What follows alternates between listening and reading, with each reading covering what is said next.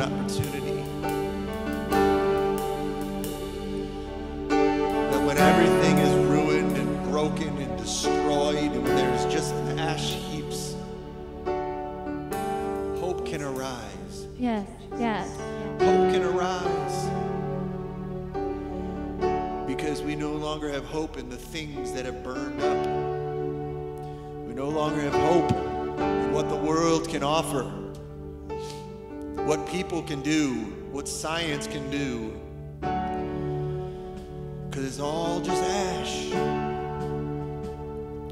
And from that place, we can turn our eyes towards heaven, towards Jesus. with full assurance of faith.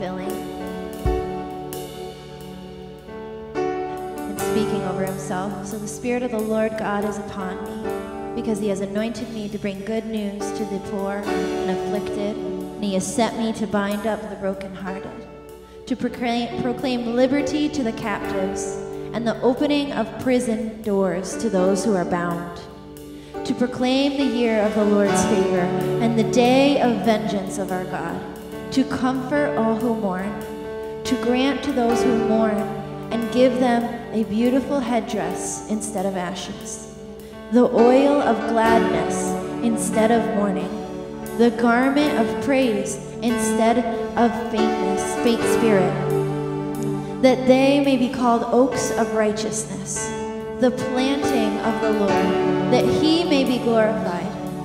They shall build up ancient ruins, and they shall raise up from the former devastations, and they will repair ruined cities and devastations of many generations. Strangers shall stand and tend your flocks, foreigners shall be your plowmen and vine but you shall be called the priests of the Lord.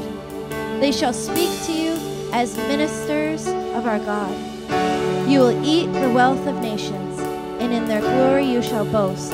Instead of your shame, there shall be a double portion. Instead of dishonor, they shall rejoice in your lot.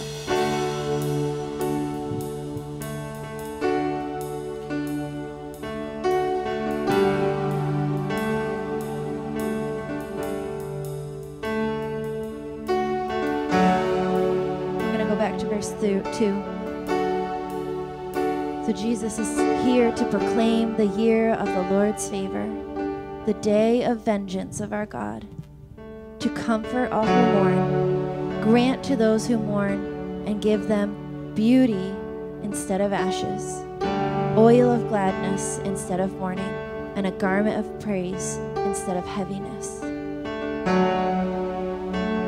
Amen. That is our inheritance. That is our portion in Jesus is our portion in Jesus. We're just going to keep moving like we're now, and we're going to pray in, some, in a group. We don't have that many people to do groups, but we have enough to do a group. So I just want to, let's just get, let's see if we can do this.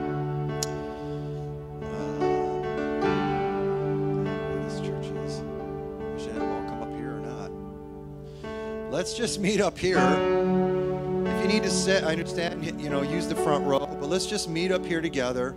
And we're going to pray. There's a lot of people who need prayer today, people who aren't here, people who are in need, sickness, housing, all kinds of things, uh, uh relationship problems, bad decisions. People are. playing around with decisions that would lead them in a completely course direction away from the Lord. And so I just want to challenge you today. We're going to pray together and just, I'm challenging you. I'm being pastoral here, okay? So pray loud enough so that people can hear you. And I really just want you to step out, try to be wise about not embarrassing somebody with details. The Lord knows, but enough enough so that we understand how we can pray with you. Do you understand? Like somebody's in the hospital, they have a disease, great, but we don't need to get into all the details about what the doctor said and all that. We don't need to talk about all that. So being effective in prayer and people praying with you, it's not turning it, it's not story time, it's intercession. Here's the need, here's the promises of God, and we do those things. So what Elizabeth read. Can you read that again, please? Yes, the passage you read. No, all the exchanges in there. He says beauty for ashes, so there was exchanges.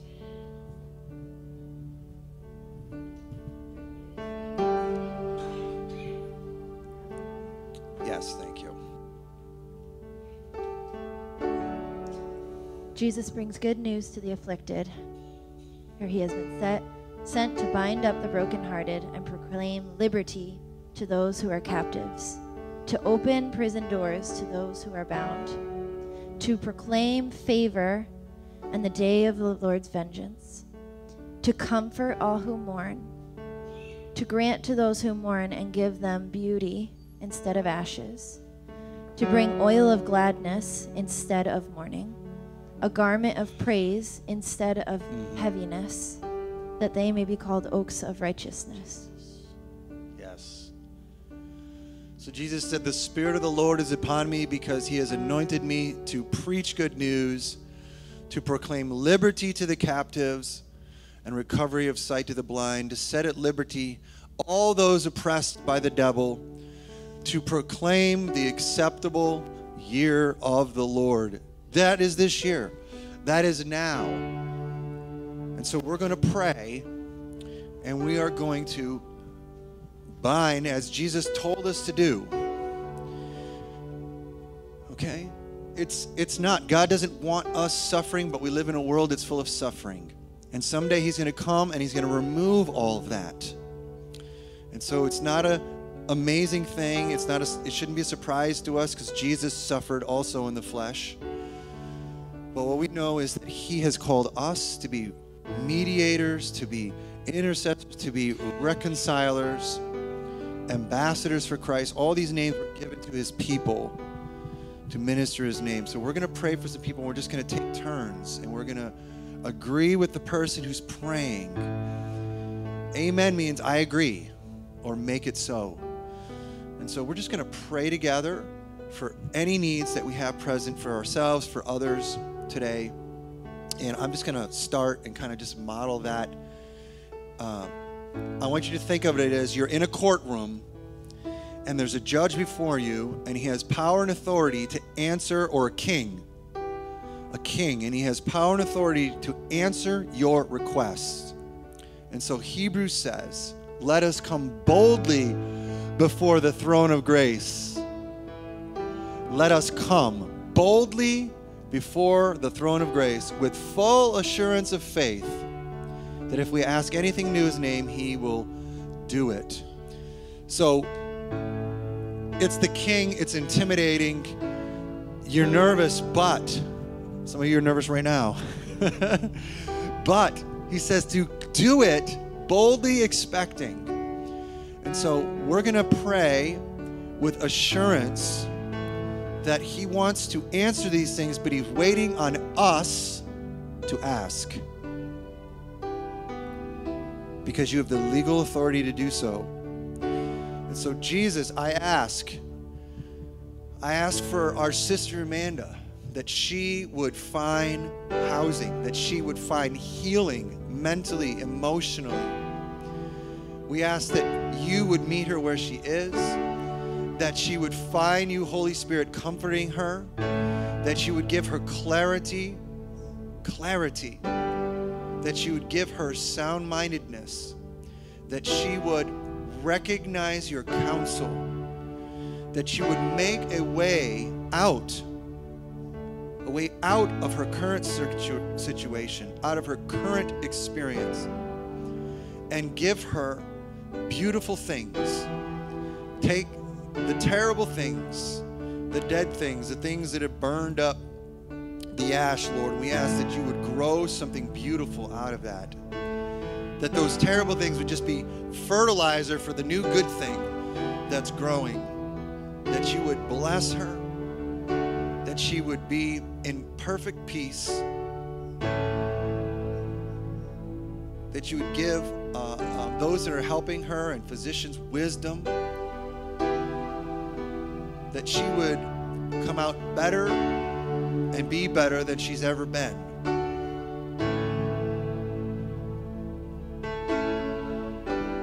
So anybody can pray. Go ahead. Just like popcorn. Just go around the room.